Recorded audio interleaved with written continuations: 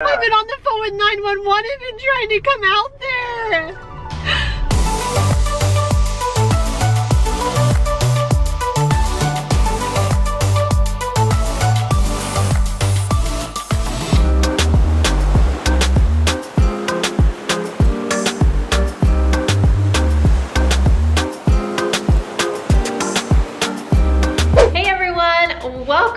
Channel today. You guys, I hope you're all doing well, having a good day so far. I'm here with our little Finley. he literally follows me everywhere. We all know this and we all love him. You guys, I have got to find a new groomer for him here in Florida because he has not been groomed since we moved here. And this hair is just getting a little too long. It's kind of hard for him to see. We also are gonna take a bath today, little buddy. We're a little grungy, but he's still stinking cute. I had to hurry and check in with you guys, so I've been working a little bit this morning and I have to run to a doctor's appointment. I'm actually going to the dermatologist, which I have never been to dermatologist. You guys, is that terrible? Like I feel like I probably should have gone and got like checkups and different things like that, but I've never been.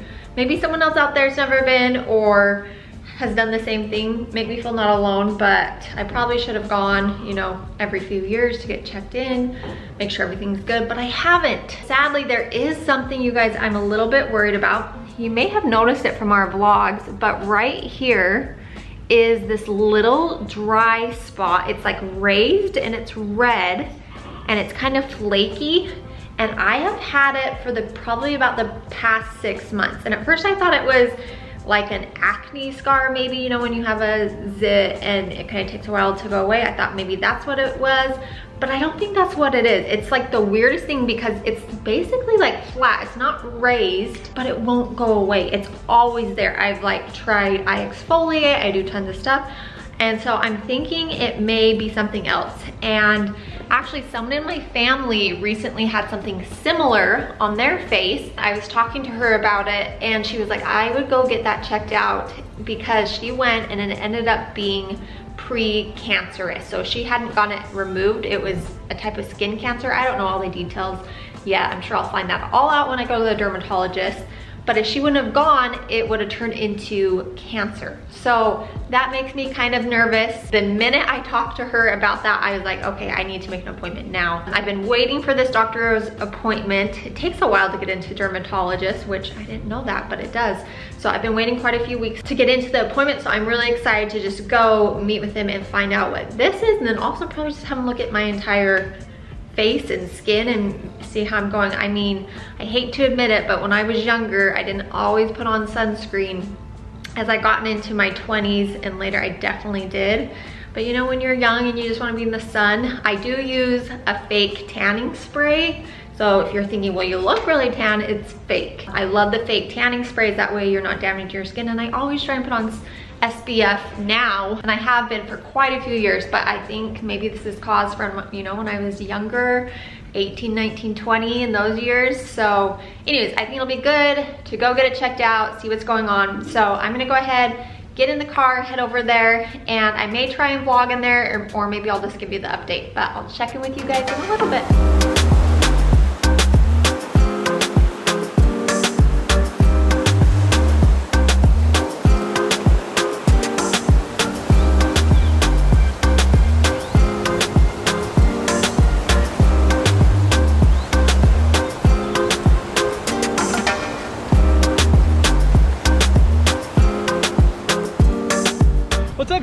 Hope you're all having a fantastic day. Today is the first day in a very, very long time that I have actually felt healthy enough to get out, go out, and have some fun.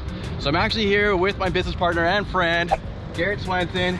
He's the man. We are on his jet skis again. We're gonna go out just for a little bit, then go work. So these are the two jet skis he has. He has this one right here, and then he has that one over there.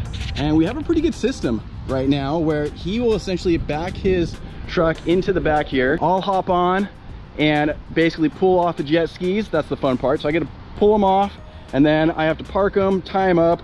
I did a pretty poor job right there tying them up just because we're just about to leave. But then after that, I come over here, walk over there, and there's a little tiny ladder right there that I climb up, go all the way over, hop on, and I do it all over again with the other jet skis. But anyway, we're gonna go all the way down here, take a right, and then head on out into the ocean.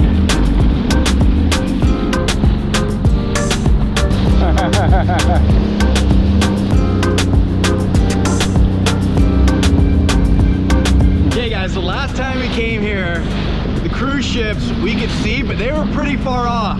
This time, the cruise ship is literally right there. that is crazy how close these cruise ships are. So funny thing, when I was a little kid with my family, I actually went on a cruise. We went on this very one that is so cool.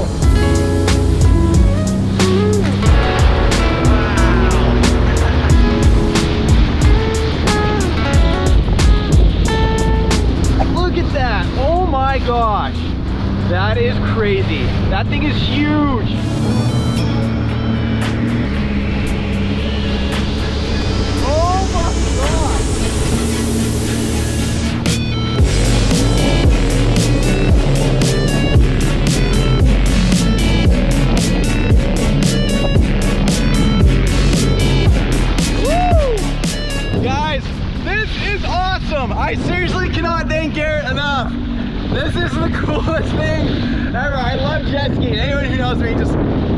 Love to jet ski. I know I've said that like a hundred times, but seriously, it is like one of my favorite things to do.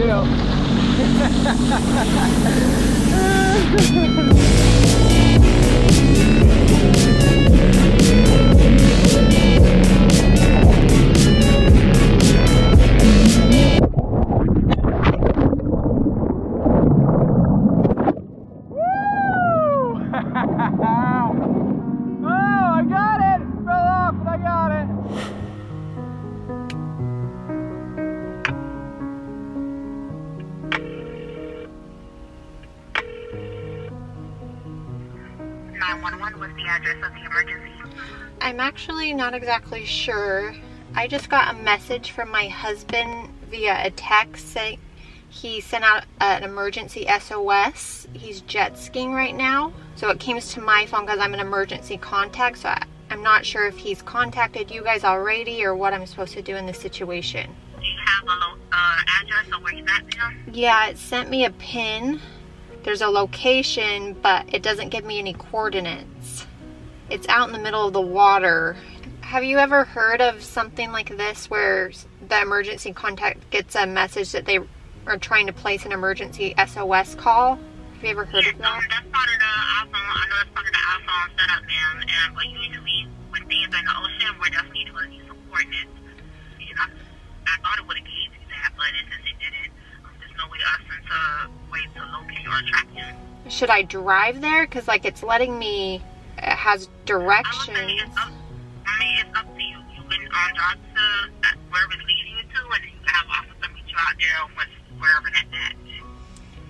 Okay.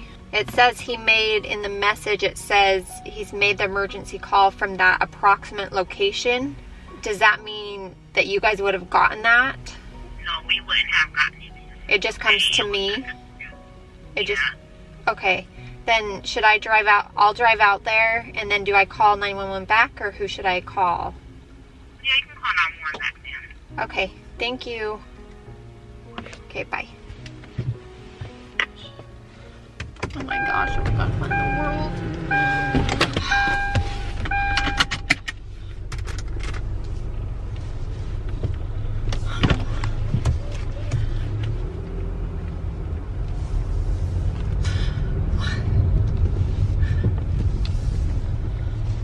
You sent a, a SOS from the middle of the ocean to my phone saying it was an emergency.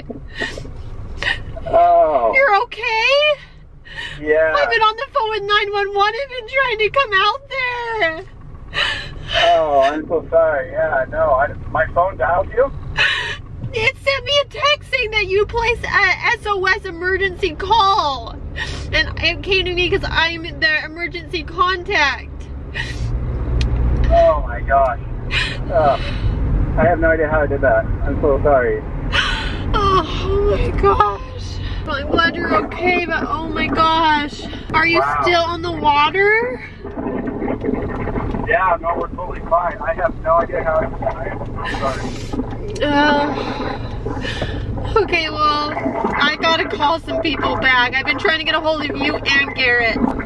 I am so sorry. I just saw it ringing on my phone watch. Okay, bye. Uh, love you. Oh my gosh. Guys, I just had to pull over to the side of the road. holy cow. I don't think I've ever been that scared. I did not I did not know what to do. I've I've never seen something like that before. Um maybe I should back up and tell you. I was going to see that dermatologist for this spot I was telling you about and all of a sudden I get on my phone I'm literally like checking in with the lady and I get on my phone this message. It says emergency SOS. Jared Bingham has made an emergency call from this approximate location. You are receiving this because Jared is listed as your emergency contact. And then it shows him like out in the middle like of the water. Oh my gosh, sorry, I'm just so my heart is racing. I think it's just like adrenaline pumping. And I was like, what do you do with that? Like, I've never seen that. Does that mean like he called 911? Does that mean I'm supposed to call 911? Like, what does that mean? And so, anyways, I was like, hey, I have to leave. And I ran out and you guys saw I her turned on the vlog camera as I called 911 and I mean the lady she was doing the best she could but I I mean when I click on his location it, it literally gives me no coordinates or anything. It just has a pin. And when I click on info, there's literally no coordinates or anything like that. Like, how scary is that? And it's 20 minutes away. So I started calling Jared to see if I could, get a hold of him. And then you you guys heard that he picked up the phone because I tried calling him a few times when I came out to the parking lot to see if I could get a hold of him and it kept going straight to voicemail, straight to voicemail. And I, like, I don't know what that means. Does that mean your phone's off? Is it dead? Like, what is going on? Holy cow, you guys. I thought I was gonna have to drive out there and then have an officer come out and like we're gonna have to go search for him. I had no idea what could have like happened. And then, I mean, I was so relieved when I heard him pick up and saying he heard me crying and he was like, are you okay? What's going on? And so that made me think, okay, he's okay, but oh my gosh, that was like the craziest experience. I felt helpless. Like, here my husband is in the ocean 20 minutes away 911 doesn't know how to get to him i have to drive out to him like i tried he's out there with his friend garrett i tried calling i don't have garrett's number so i tried calling sean jared's brother seeing if he had it he wasn't picking up like i just felt helpless like i that was that was really scary Oh my gosh. Whew. Anyways, okay, I'm just gonna take a breath. Everything's good. Jared's still out on the ocean. He said he was still on the jet skis. We're good. I'm gonna go ahead, off the vlog. I'll have to figure out my appointment another day, but glad my sweet hubby is okay and safe. So let me know if you guys have ever experienced that, getting an SOS message like that via the iPhone. I've never even heard of that. That's really cool to think, but obviously if it could be a mistake, that's not good either. So, okay, we'll check in with you guys in a little bit.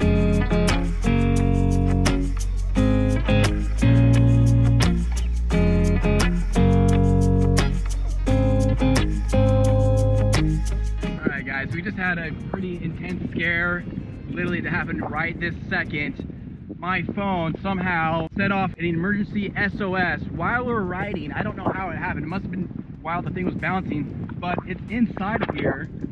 I'll show you real quick. So the phone goes inside of here in between these two like styrofoam things. We didn't know she was calling because our phones are inside these little cubbies right here. Luckily, I felt something vibrating on my wrist. I answered it and I was just like, oh, hey babe, how's it going? And she was in tears. I didn't know what was going on. I was trying to figure out what was going on with her. I thought she got in a car accident. I cannot imagine how she was feeling. My dad's calling me now because it's gonna be the same story, but I gotta answer this. This is, wow, scary, but thank goodness I'm safe.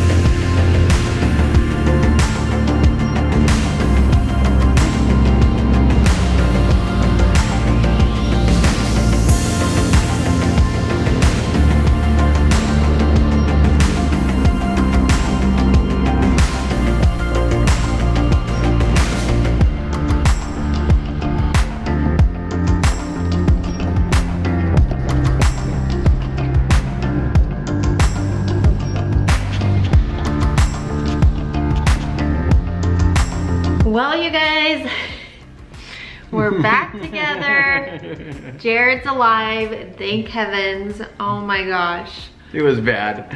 So I had these emergency contacts. I had Brittany listed, obviously number one. Then I had my parents.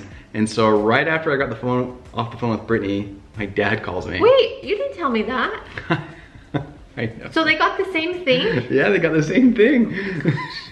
my dad, he calls me, he's like, hey bud, because I, I answered. I Oh, like, so he answered for his dad, I answered for you. but it went to voicemail, you guys. I tried calling before I called 911. I called him probably five times and it went straight to voicemail, straight to I voicemail. have- So that made me even more worried. I had no idea what was going on, like zero. Oh, clearly, because when I answered, I didn't turn on the vlog camera when I first answered, but he's like, hey babe, and I was like, at that point, you guys, I think my adrenaline, like I was holding it together when I talked to the 911 dispatcher because I was like, hey Brittany, stay calm. If they can't understand me, then they're not gonna be able to help me. So I was like super cool, calm, collected on that. But then after Good. I hung up with them, when I'm like on my way to go meet a police officer at where Jared was last seen, I was like, literally my adrenaline was pumping. I was like, I had the worst feeling. Like it was terrible. And then I was like such in a weird state earlier, you guys, with so many emotions. But basically on the way, I was like, okay, I'm gonna keep trying to call him, keep trying to call him. And he did pick up and he's just like, hey babe. And I was like, at that point, all You're my not emotions, dead, I'm gonna kill you. all my emotions, I just started bawling. He's like, are you okay? And he's like, wait. And he was saying how he thought something was wrong with me because I was Yeah. crying and he couldn't really understand me. So I couldn't really understand her. So my phone was like, as you guys saw, it was kind of like tucked in between these like two little cushions and it was like snug in there. So I have no idea how this distress signal got sent out. It happened to be stopped right then, which was nice.